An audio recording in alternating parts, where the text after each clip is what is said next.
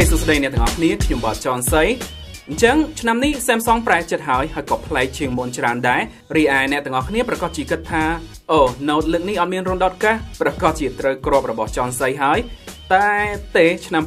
2019មានរុនដតកាសមិនស្ទៀវត្រូវអត់តាមពិតដូចខ្ញុំបាននិយាយនៅក្នុងវីដេអូប៉ុន្មានឆ្នាំចុងក្រោយអញ្ចឹង Samsung និងសេរីសរងរកច្រកចេញពីរុនដតកាសដូនតាចៃឲ្យនេះដូចគ្នាគ្រាន់តែគេចាំមើលពេលវេលាសមស្របមួយប៉ុណ្ណោះហើយ Samsung ពេលនេះក៏មិនសូវខុសពី Apple ប៉ុន្មានដែរពីលើយុទ្ធសាស្ត្រការលក់បច្ចេកវិទ្យាខ្លះគាត់ទុកឲ្យគេចេញមុនសាកប្រើមុនឲ្យខុសច្រើនទៅទៅដល់ពេលគាត់ចេញមកមានមុខងារនេះវិញគឺធ្វើការបានត្រូវនឹងខ្លាំងជាងជាក់ស្ដែងដូចជាការ scan ម្រាមដៃក្រោមអេក្រង់ ultrasonic និង motor ហត់ចេញចូលជាដើមហើយទៅលើរុនដតកាសទាំង OnePlus ក៏ធ្លាប់ឌឺ Apple Samsung ក៏ធ្លាប់បាញ់ផ្លែប៉ោម ហើយពេលនេះយើងទាំងអស់គ្នាសឹងតែហត់និយាយនឹងមិនចង់រំលឹកពីរឿងរុនដតកាស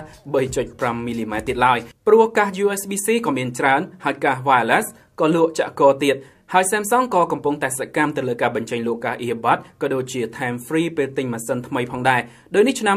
2019នេះអាចជាសញ្ញាក្រហមធំបំផុតហើយទៅលើរុនដតកាស3.5មីលីម៉ែត្រចំណែក Galaxy Note 10គឺជា smartphone ត្រកូល Note ដំបូងគេបង្អស់ដែលនឹងផ្ដាច់និស្ស័យពីរុនចំណាស់នេះជារៀងរហូតបន្តមកអាចនឹងដល់វេនត្រកូល S បន្តទៀតព្រោះ Galaxy Fold និង A80 ក៏បានចាប់ផ្ដើមរួចមកហើយដែរ ខ្ញុំនឹងមិននឹកវាទេគ្រាន់តែខ្ញុំក៏មិនអាចបំភ្លេចបានថា Samsung ធ្លាប់បាញ់ Apple តែប៉ុណ្ណឹង លើកនេះ Galaxy Note ចែកគ្នាដើរ3ផ្លូវគឺ Galaxy Note ធម្មតាតម្លៃ899ដុល្លារ Note 10 Plus 1059ដុល្លារនិង Note 10 5G ខ្ទង់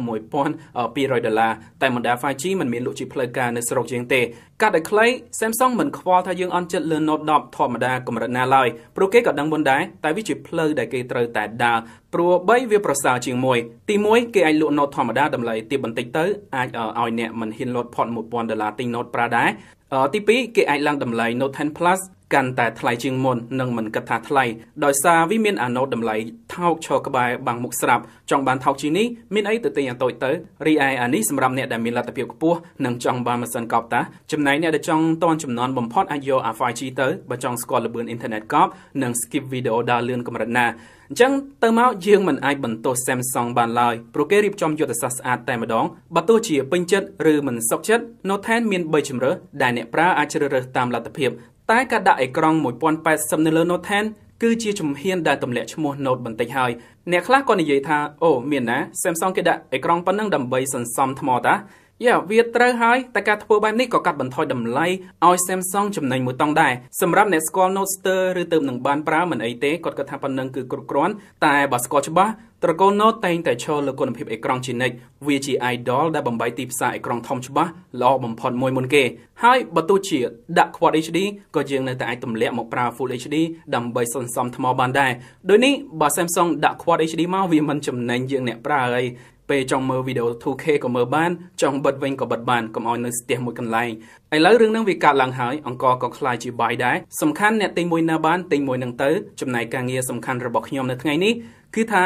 តើ Galaxy Note 10 Plus វាមានអ្វីអស្ចារ្យខ្លះក្នុងវីដេអូនេះខ្ញុំនឹងបង្ហាញលម្អិតតែ Note 10 Plus ទេព្រោះ Note 10ធម្មតាខុសតែទំហំអេក្រង់និងភ្នែកមួយចំនួនប៉ុណ្ណោះយ៉ាងណាក៏ដោយ Cambo Report នឹងធ្វើវីដេអូ review ដាច់មួយទៀតពីវាយើងនឹងយកអាធំមកដាក់នៅលើតុសិនដោយសារវា ទើបសមជា Note ពិត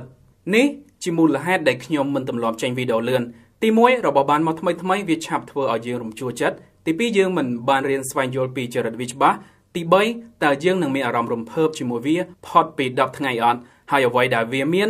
នៅលយទៀតអត់អូខេរឿងនេះគឺអញ្ចឹងនៅពេលដែលខ្ញុំកាន់វាជាលើកដំបូងខ្ញុំមិនសូវជារំភើបជាមួយវាដូចជា Note ចំនួនមុនមុនឡើយព្រោះរចនាប័ទ្មកាមេរ៉ាក្រោយវាដូចស្រដៀងធ្លាប់ ធ្លាប់ឃើញពីមុននៅណាទេ Deja vu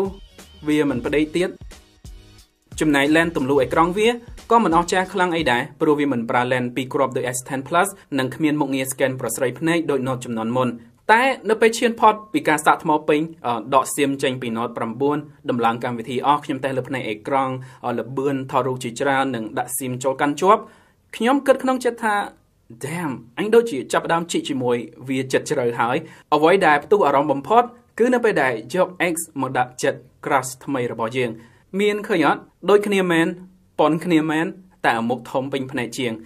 ខ្ញុំចង់និយាយថាវាមានអេក្រង់ធំជាងនៅលើរូបរាងដដែលតែវាលាតសន្ធឹងដល់ទៅ6.8អ៊ីងក្បែរ7អ៊ីងទៅហើយគ្រាន់តែអេក្រង់នេះតើឯងក៏អាចដុតចិត្តខ្ញុំឲ្យឆេះទៅទិញយកមកប្រើដែរវាពិតជាមានគែមខ្លីមែនតើដូចជាយើងកាន់បន្ទះបង្ហាញមួយសន្លឹកអញ្ចឹង ថាប៉ុណ្ណឹងវាកប់តែអេក្រង់ Super AMOLED ចំនួនថ្មីលើនេះជះពន្លឺបានខ្លាំងនិងកាន់តែបង្ហាញពណ៌បណ្ឌិតស្រស់ច្បាស់ថែមមួយកម្រិតទៀតវាពិតជាប្របីដល់ការសម្លឹងមើលមែនតើជាពិសេសនៅពេលដែលយើងមើលវីដេអូដែលមានគុណភាពខ្ពស់ Side Quad HD Plus បង្ហាញបានម៉ត់ច្បាស់ជាមួយ Density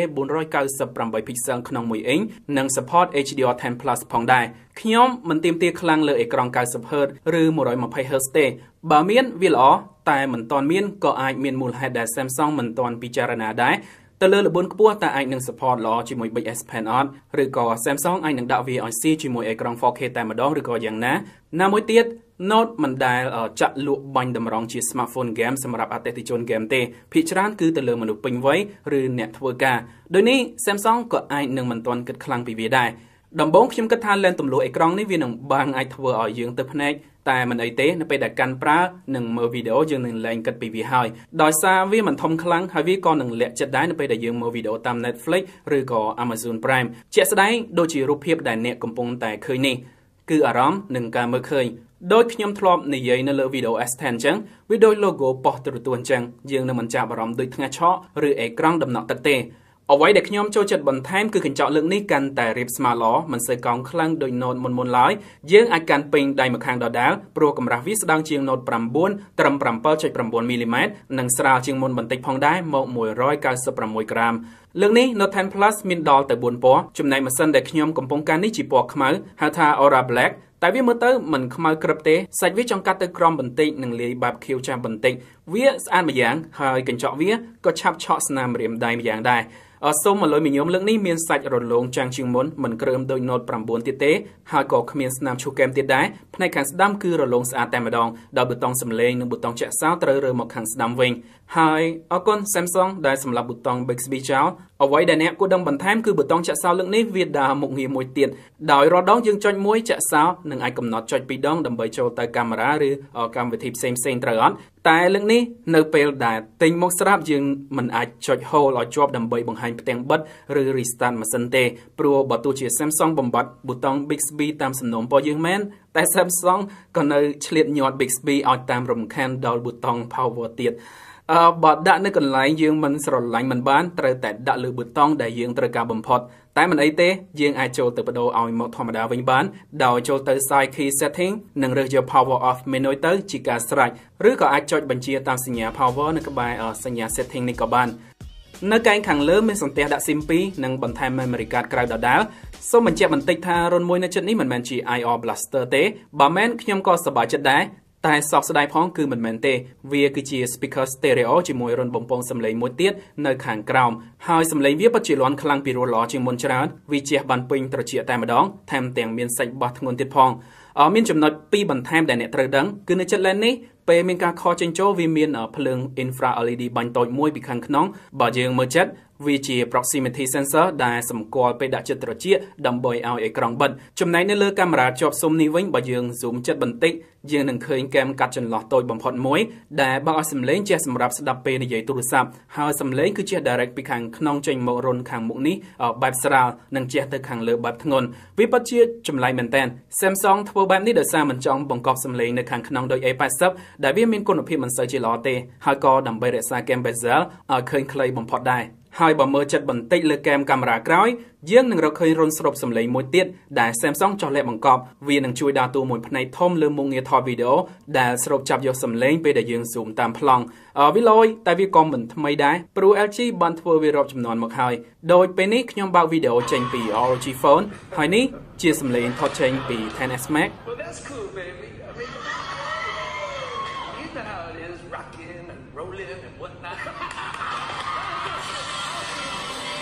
ហើយនេះជាសំឡេងដែលថតចេញពី Note 10នៅពេលដែលខ្ញុំ zoom ទៅលើ ROG phone កាន់តែជិតសំឡេងឬកាន់តែខ្លាំង For you John Travolta So I I will, I will go first I'll try the game yeah here we go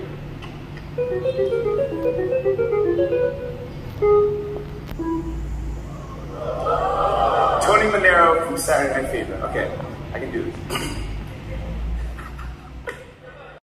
អញ្ចឹងលើកនេះ Samsung ដើរចេញពី iris scanner និង sensor scan ម្រាមដៃធម្មតាដាច់ផឹងតែម្ដងជំនួសដោយការ scan តាម sensor ក្រោមអេក្រង់វិញដោយ S10 ដែរ Sensor ultrasonic លើកនេះទទួលបានការបង្កើនឲ្យប្រសើរច្រើនទៅលើការសម្គាល់និងល្បឿននៃការ scan ថ្មលើកនេះឡើងដល់ទៅ4300មីលីអង់ពែវាធំមែនសម្រាប់តួលេខ តែវាក៏តូចសម្រាប់ការប្រើជាក់ស្ដែងដែរពីព្រោះអេក្រង់ Note 10 Plus នេះពិតជាធំនិងមានកម្រិតបង្ហាញខ្ពស់ជាពន្លឺខ្លាំងដែលផឹកថ្មបំផុតអញ្ចឹងវាមិនអាចស្ថិតនៅស្តង់ដារពណ៌បៃតងរបស់ខ្ញុំឡើយអាចថាល្មមគ្រប់គ្រាន់ប៉ុណ្ណឹងគ្រាន់តែមិនខ្លាំងឡើយខ្ញុំប្រើអេក្រង់កម្រិត Quad HD Plus ជាប់ជាមួយពន្លឺ80%លើរបៀបប្រើបែបអ្នកលេងផងធ្វើការផងវាស៊ូបាន6ម៉ោងលើអេក្រង់ជាប់កំឡុងពេលនោះខ្ញុំមើលវីដេអូ1ម៉ោងនិងលេងហ្គេមជិត2ម៉ោងជាមួយការប្រើបណ្ដាញសង្គមទូទៅវានៅសល់ទឹក13%តែបើសិនជាអ្នកប្រើអេក្រង់ត្រឹម Full HD Plus វានឹងអាចស៊ូបានយូរជាងនេះចំណែកការសាកថ្មវានៅតែអាចសាកដោយមិនប្រើខ្សែនិងផ្ទេរធម្មពលទៅឲ្យ smartphone ឬឧបករណ៍ដទៃទៀតបាន ហើយវាថែមទាំង support ការសាកតាម USB-C ដល់កម្លាំង 45វ៉ាត់ផងដែរគ្រាន់តែឆ្នាំងសាកដែលភ្ជាប់មកក្នុងប្រអប់ជាប្រភេទ 25វ៉ាត់ប៉ុណ្ណោះម្ដងទៀតប៉ុណ្ណឹងរៀងស្ទើតែវាក៏គ្រាន់បើនឹងមិនកេងចំណេញដូចជាក្រុមហ៊ុនផ្លែប៉ោមឆេបដែរ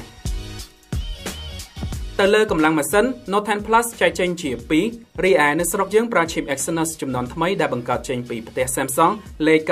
9825ទំហំ7 nanometer ដូចនេះសម្រាប់អ្នកដែលច្រឡំថានៅស្រុកយើងប្រើ SD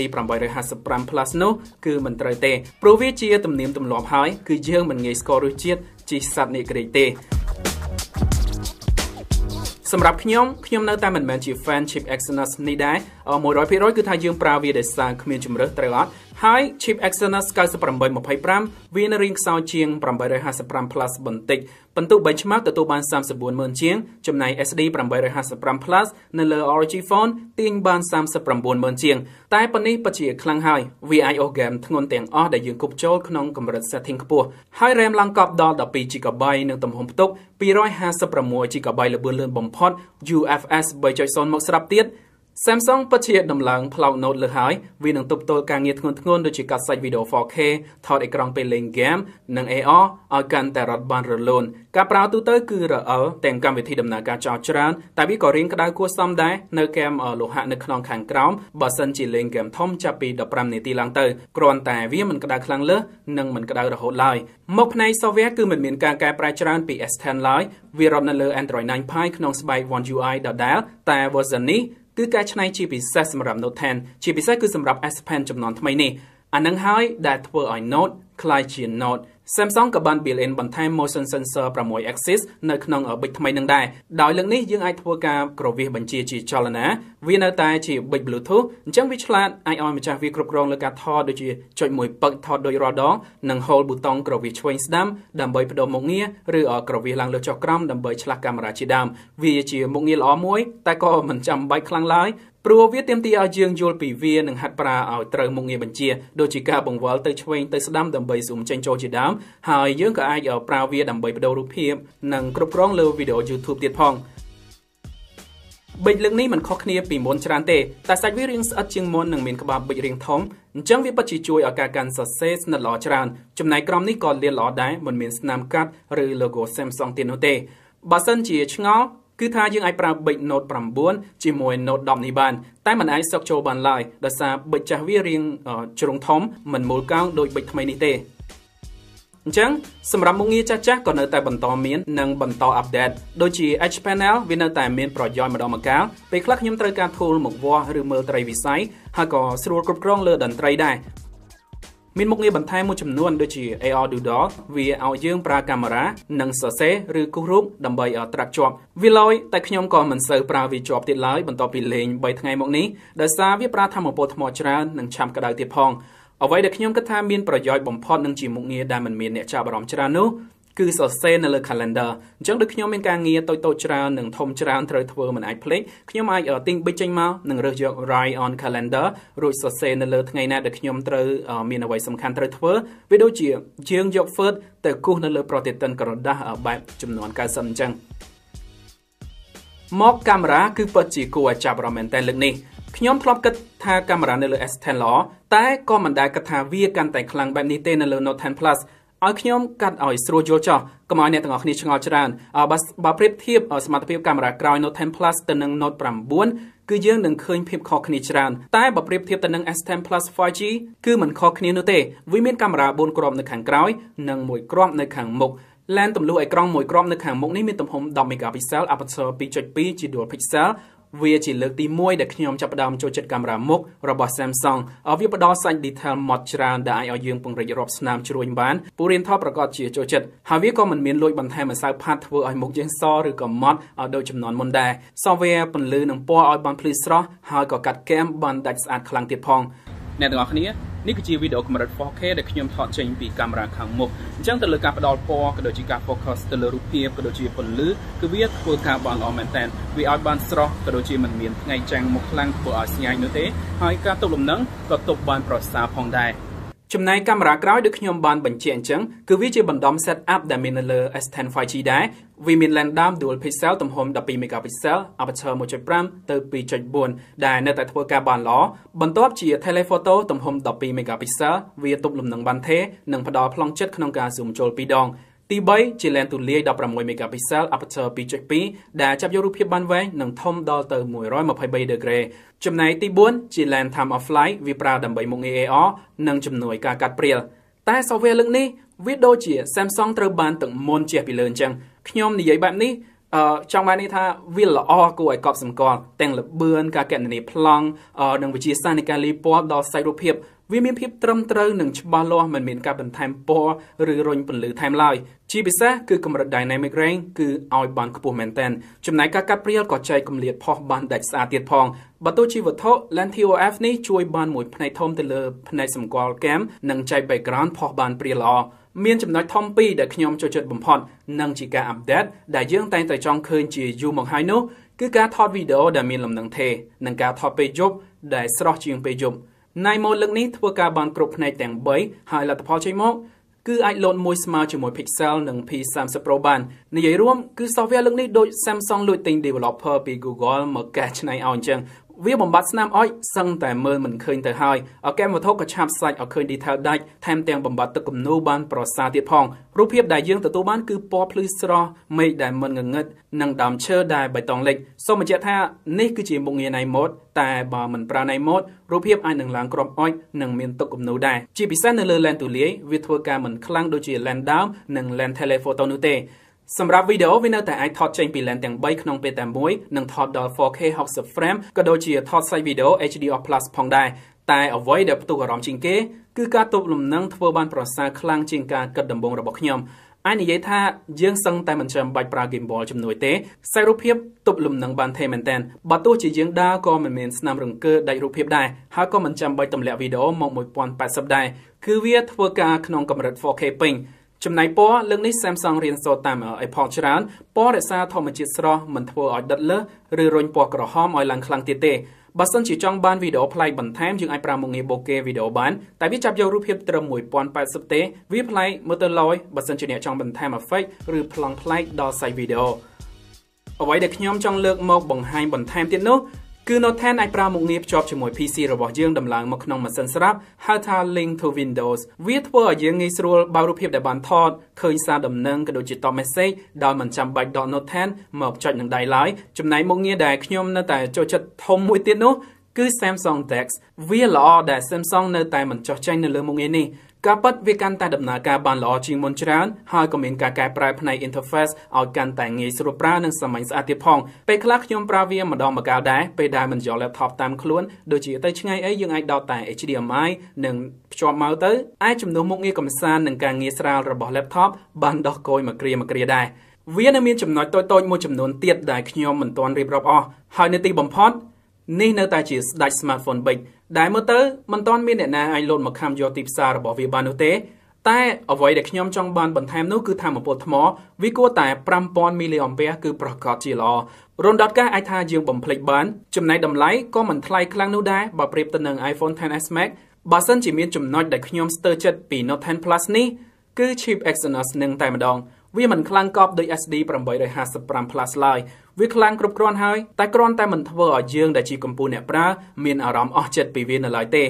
នេះជាលើកទី3ហើយដែលយើងឃើញ Note មានការហក់ខ្ពស់ទៅលើការ update យើងឃើញ Note 1 load មក Note 5វាជាការ update ធំបំផុតទៅលើរចនាបថកញ្ចក់និងស៊ុមលោហៈ Note 5 load ទៅ Note 8ជាការផ្លាស់ប្ដូរដ៏ភ្ញាក់ផ្អើលមួយលើអេក្រង់និងរូបរាងវែងហើយមក Note 10 Plus នេះ គឺជាការដំឡើងក្នុងកាមេរ៉ាកាន់តែកប់វាជាអ្វីដែលខ្ញុំពេញចិត្តបំផុតផ្នែក software ក៏កាន់តែដំណើរការបានល្អនិងមានមុខងារសម្បូរច្រើនជាពិសេសគឺ S Pen តែម្ដងនេះគឺជា smartphone ដែលមានមុខងារដ៏ច្រើនបំផុតមួយដែលយើងមិនអាចរកមាននៅលើ smartphone ដទៃទេរូបរាងនិងរចនាបថឈូសចេញមកកាន់តែ premium អាក្រោះនៅតែតាន់អេក្រង់កាន់តែធំតែវានៅតែរក្សាបានតូចអាចកាន់ពេញដៃបាន ហើយបន្ទះបង្ហាញ បន្ទះបង្ហាញ Dynamic AMOLED នឹងហើយជា money shot ជាសោមាសជាចន្លោះដែលខ្ញុំអាចគប់លុយចូលដោយមិនគិតពីដងឡើយវាពិតជាស្អាតវាទូលាយភ្នែកវាមានពណ៌ទះចំកណ្ដាលមុខស្ទើរតែឲ្យយើងចេញទឹកបានចេញទឹកភ្នែកបានបើមើលរឿងកំសត់កម្រិត HDR ហើយប្រព័ន្ធសំឡេង Dolby Atmos ក៏លាន់ដេញពេញត្រចៀកទៀតផង ខ្ញុំពិតជាណែនាំ Note 10 Plus បើសិនជាអ្នកមានថវិកាគ្រប់គ្រាន់ឬជា fan ត្រកូល Note រាប់ចំនួនមកហើយឲ្យវាគូត្រូវប្រអប់ច្រើនដែលខ្ញុំចង់បានហើយនេះអាចជា smartphone ដែលនឹងរស់នៅជាមួយខ្ញុំរហូតដល់ smartphone កំពូលផ្សេងទៀតចេញមកបង្ហាញខ្លួនដូចជា iPhone 11ឬ Mate 30 Pro យើងនឹងចាំមើលជាក់ស្ដែងតែសម្រាប់ពេលនេះខ្ញុំពិតជាពេញអារម្មណ៍ទៅនឹងអ្វីដែលខ្ញុំកំពុងកាន់នៅក្នុងដៃហើយអ្វីដែលខ្ញុំចង់ដឹងបំផុតពីអ្នកទាំងអស់គ្នានោះ តើអ្នកយល់យ៉ាងណាដែរទៅលើ smartphone 3ចំនួនចុងក្រោយនេះហើយអ្នក Note ឬក៏ Not កុំភ្លេចសរសេរជាយោបល់នៅខាងក្រោមនេះឲ្យខ្ញុំដឹងផងបើសិនជាចូលចិត្តកុំភ្លេចចុច like ផងហើយបើមិនចូលចិត្តក៏ត្រូវតែចុច like ដែរបន្ទាប់ខ្ញុំនឹងនិយាយទៅកាន់អ្នកទាំងអស់គ្នានៅវីដេអូក្រោយទៀត